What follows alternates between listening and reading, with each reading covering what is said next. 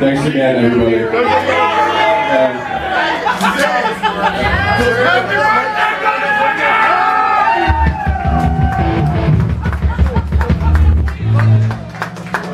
Fuck it, I'm not gonna Thanks, Steve.